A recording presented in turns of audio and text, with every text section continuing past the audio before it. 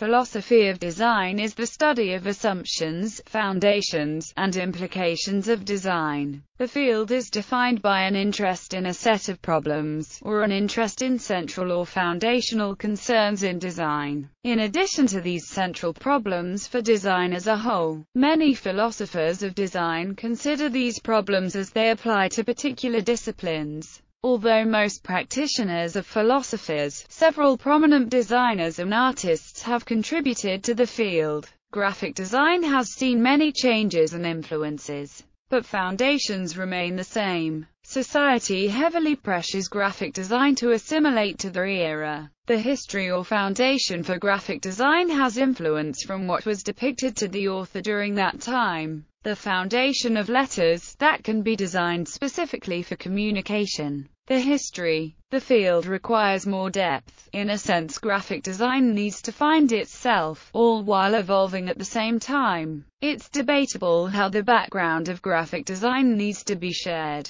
There's the discussion of different designers, and the notable works portrayals of how the physical art has changed and been inspired by past all while embracing the future. Graphic design as a field is young. There is not enough information about how it came to be. There is subtle information about society accepting messages being put in front of them. There's not enough information given to design students about where the concept for graphic design comes from, or at least an understanding about the original forms of communications that used more than words, or why typography has such a large impact. Foundations its foundations builds upon itself, improving from previous works. The notion that the paintings in caves created graphic designing, allowing in the use of the first type of letters, art, and form of communication. Each sub-concept and understanding of said concepts come from inspiration of previous concepts that collectively gives one concept on how to give people a message with words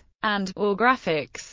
Graphic design gained its commercial popularity during the Industrial Revolution, a time when companies realized that people needed to see the product before buying it, whether it was for drafting into the military or rallying the people together for a campaign. The government and business owners decided that giving people an image of what to expect from them became a brilliant idea, thus beginning graphic design providing images for the public from businesses via attractive graphics and lettering. The central problem with graphic design and its foundations is figuring out how to give design students the accurate knowledge of their field, beyond just how to create the work, but what inspires it how the concept for what they're designing has been applied before, its effects on society and society's influence on the development of the concept in graphic design. Philosophers of design, or philosophers relevant to the philosophical study of design. Roland Barthes, Jean Baudrillard,